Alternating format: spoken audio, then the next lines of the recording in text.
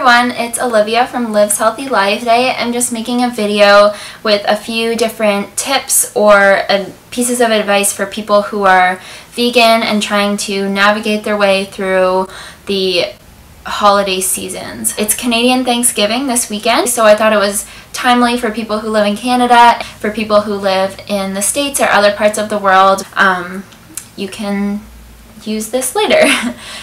My first tip is for people who are newly vegan and they still want to attend their regular family gathering, but you've just become vegan and you don't want to be a burden to the host or you don't want to be that awkward person that just doesn't really eat anything. My tip for you is to just make your own meal and bring it with you. There's some amazing Thanksgiving recipes that you can make that are vegan and I can link a bunch of them below. I've made a lot of different things for different holidays and it's definitely I think the best option when you're just starting out being vegan because then you kind of avoid any awkward situations or you don't feel like you're, you know, being a the difficult person. Another thing you can do is if you're fine with just having side dishes, if they're just having like some vegetables on the side and potatoes, you can always ask them to set aside some potatoes before they put the milk and butter in. That's what I did and it was pretty easy. And then you can just bring your own gravy or bring your own, one time I brought lentil walnut meatballs and it was really good. My second tip is for people who are like me right now,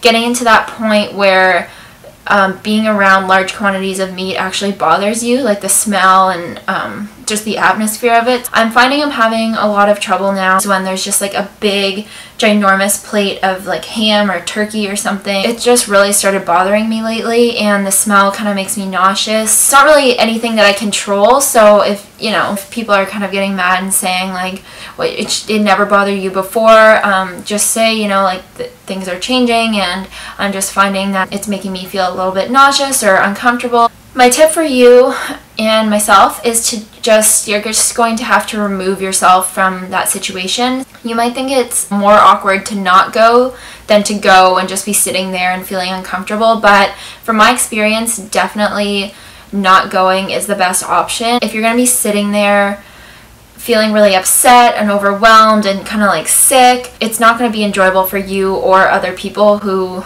are noticing that you're feeling like that. What I'm doing this Thanksgiving is my sister and I are going to her dorm room, which is about 10 minutes away from my aunt's house, and we're just going to eat at her meal hall or something, and then we're going to walk up for dessert. It's still a good option. You get to spend time with people you love, but you don't have to be in that uncomfortable situation the whole time. So my third tip is for people who have a more adventurous family or um, adventurous friends who would be willing to go to your house and you cook a vegan Thanksgiving. My family definitely wouldn't go for this and I've tried lots of times, but if your family is open to it, offering to make a meal for people that's going to be like healthy and still be really delicious, I think definitely ask because you never know if people will surprise you with how open they are to stuff. So those are all my tips. Those are kind of the three scenarios that I see playing out during the holiday seasons. I think you kind of just have to assess your own personal situation, assess um, what you think people will go for and what you think will be the best choice for you, and then go from there. So yeah, I hope this is helpful. Don't forget to subscribe for more videos and